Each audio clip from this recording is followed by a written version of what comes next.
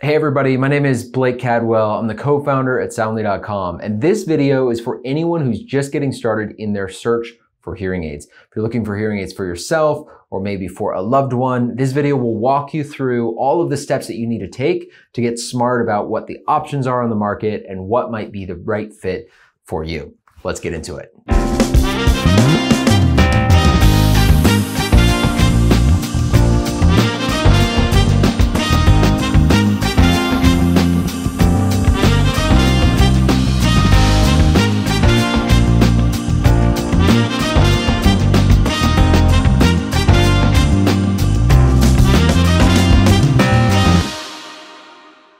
Got my first pair of hearing aids in 2020, and I've had hearing loss for my whole life. It's hereditary, shared by my mom and brother, but I've been on the fence. I haven't been ready to fully commit to wearing hearing aids until the pandemic. People put on face masks, and I lost my ability to read lips, and that really pushed me over the edge.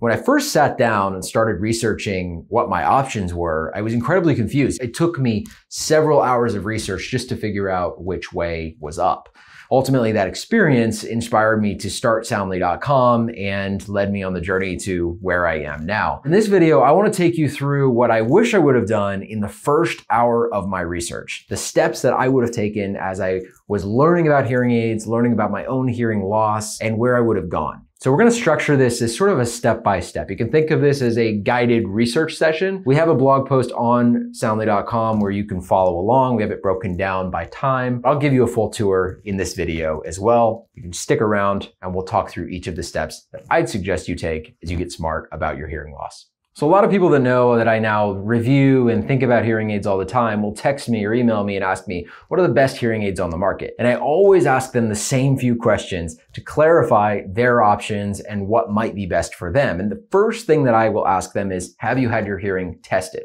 So if you haven't had your hearing tested, professionally or online, the first thing I'd suggest is that you take a hearing test. Now we have a free one on soundly.com. It takes about five minutes and the results tend to be pretty accurate. It'll give you at least a directional understanding of the severity of your hearing loss, the shape of your hearing loss, and some other basic characteristics.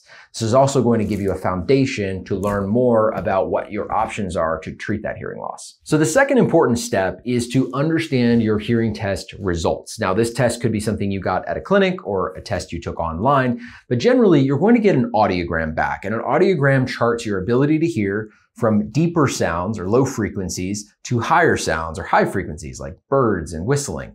Typically you'll see that chart. Mine is a cookie bite, so it goes down in the middle and then it comes back up at the top. Many people have a sloping configuration. We have an article on soundly.com that explains each of the common hearing loss types and gives you a little bit more information that might help you understand your particular configuration. One especially important note to take a look at in your hearing test is whether you have mild, moderate, severe, or profound hearing loss. If you have severe or profound hearing loss, your care options, which we'll get to in just a moment, will be a bit different than those folks who have mild to moderate hearing loss. All right, we're making some progress. You've now taken a hearing test. You have a basic understanding of your hearing loss configuration. And what I'd suggest is that you take a step back you think about what brought you into this process in the first place. What are your main goals in this process? Uh, are you trying to reduce tinnitus? Are you hoping that you'll find a product that can manage background noise, like at a restaurant or while traveling? Or are you just looking for something simple in front of the TV? These notes are going to help you as we get to the short list of products in a few moments. You'll also want to ask yourself how much support you want through the process. Would you like a doctor or professional to really guide you through every step, or are you thinking that this is something you might want to take on a bit more DIY? With those notes in hand, it's time to start making some decisions. The first major decision you'll want to make is not about the product that you're going to choose, but rather about the care model that feels most comfortable to you. Now, there are basically three care models available to most people. The first is a prescription care model where you'll go to a local clinic You'll meet with an audiologist or hearing instrument specialist in person. They'll look inside your ears, they may take ear molds, and then they'll fit you with hearing aids. That process is the traditional process that many people have gone through for decades. Your second option is to access hearing care through telehealth. Now, this can be particularly convenient for people who live in rural areas or folks who are really busy. Typically, the way this works is a hearing aid will be shipped to your home, and then you'll use online consultations, phone calls, text messages with a hearing professional professional who will program your devices and work with you to fine tune them to meet your needs. The third option is one that's gotten a lot of headlines over the last year, and that is the newest option on the market, and that's to purchase a hearing aid over the counter. So you can actually go into Walgreens or Best Buy, or you can do it online. You can find a brand that you like, have it shipped to your home, and then program those hearing aids using a smartphone. What I'd suggest is take a moment and think about which of these care models is probably going to fit your needs and your appetite. If you like to do things yourself, over the counter or telehealth might be a good option. If you want to meet with someone in person, a prescription option or an in-clinic option is probably going to be the best fit for you. I recorded an entire video on all of these care methods and how they impact the price of hearing aids, which I'll link somewhere up here. All right, so now you've tested your hearing, you understand your hearing loss configuration, and you've decided which care model best fits your needs. The next step is to decide which hearing aid style is best for you. Hearing aid styles typically come in one of a few different form factors. The first form factor is the most common, and that's the receiver in canal hearing aid. So you can see what this looks like. A receiver in canal hearing aid has the, the processor that sits behind your ear, a wire that comes up over the top of the ear, and a receiver or the speaker that sits inside the ear. About 80% of folks choose this style because it's the most comfortable, it has the most advanced technology, it allows streaming. There are a lot of advantages to receiver in canal style hearing aids. Now, when I first started my search, I really wasn't open to receiver and canal hearing aids. I wanted something that sat in the ear. But over time, as I learned more about the advantages to the style and then ultimately tried the style and felt how comfortable it was, I've completely switched over and I wear receiver and canal every day. The second style is a custom molded device. A custom molded device is created by taking an impression of your ear canal and then sending that off to the manufacturer who creates an exact replica of that impression with the hearing aid embedded inside. These can be really comfortable, they fit snugly in your ear, and they can become really, really tiny. They're invisible options that are custom molded to your ear. Only about 20% of folks choose an in-ear model, but those that do, there are many of them that are very happy.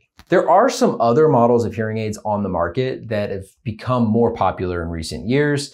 One of them is an earbud style hearing aid. So an earbud style hearing aid looks a lot like a pair of headphones, but it has the capabilities to amplify speech and drop down background noise. And you'll find, especially in the over-the-counter set, earbud style hearing aids are quite popular. It's finally time to talk about products. And what I suggest is that you create a short list. Think about the care method you want, the style that you want, and ultimately create a short list of products to explore deeper. Now on Soundly.com, we have guides for each of the major groupings of products, which you can explore on the site. We also have a side-by-side -side comparison feature where you can put products against each other and look at them feature by feature, price, style, images, etc. Once you have that shortlist curated, we recommend you take some time to watch YouTube videos, read reviews, and really get smart on the pros and cons of each of the products that you're considering, and then ultimately pull the trigger. One thing that I really recommend folks think about is that most hearing aids have a return policy. Usually that's 45 days or more. So you can try a hearing aid and if it doesn't work well for you, you can send it back and try something else. The only exception to this is if you get a custom ear mold Often there will be a sunk cost, something that you pay to the clinician for that service that you will not get back. If you're just getting started in your search for hearing aids, I encourage you to keep pressing forward. Take all the steps that we've talked about and ultimately try a product. I can say from personal experience that the process of getting hearing aids and feeling let back into those inside jokes or into those quiet conversations has been transformative. And the products themselves have advanced so much in recent years that they're very discreet, very comfortable, and quite powerful. I think for many folks, the journey can be very, very much worth it, and it's a worthwhile investment in your overall health. I hope this video has been helpful. You can read our full blog post, uh, the beginner's guide on soundly.com, and I wish you the best in your search.